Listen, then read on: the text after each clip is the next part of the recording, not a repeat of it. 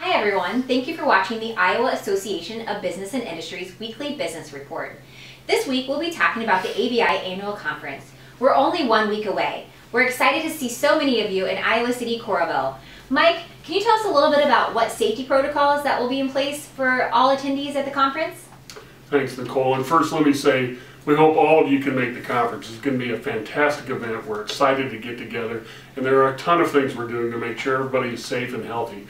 Number one, we're holding the event in an exhibition hall, the kind of hall that houses farm equipment shows and big, big equipment shows, not a ballroom. So lots of room to spread out. People will be socially distant.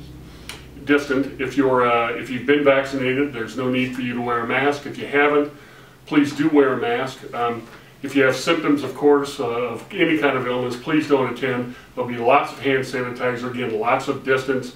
But we're really mainly looking forward to a terrific, terrific event. So we look forward to seeing you next week. Thank you, Mike. And in addition to ABI President Mike Ralston, we also have Director of Member Programs Holly Muggenberg here to share with us a little bit about some of the highlights for the annual conference. Holly? Thanks, Nicole. We have a lot of things happening at the conference this year, many of them large networking events as well as programming for everybody in attendance. Uh, Tuesday we will start with golf and non-golf options and then we will roll into our welcome reception which will be held at the Xtream Arena. Wednesday we have a full day of programming in the morning which will feature Dr. Barrett, the CEO of Girls Who Code, and Geoff Colvin, the Senior Editor at Large with Fortune and best-selling author. We'll also hear from Governor Kim Reynolds, who will address our full attendance at the, the luncheon on Wednesday.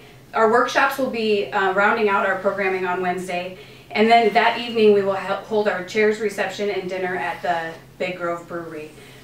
Thursday we will also have programming for all the attendees, and we will um, honor our Leadership Iowa graduates that day, as well as have our Leadership for Iowa award. And then give our attendees kind of a taste of what we will have coming up in 2022. Great. Sounds like an excellent event. And I'm thank you to Holly for, go ahead. Well, you're going to do it. I'm going to do it too. I want to say thank you to Holly. Everybody on the ABI team works incredibly hard.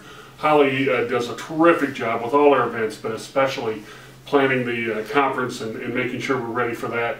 I do want to say, if you haven't heard Tarika, Dr. Tarika Barrett, you don't want to miss her. She's terrific. Geoff Colvin, everybody knows from his books and his work at Fortune Magazine, terrific speakers.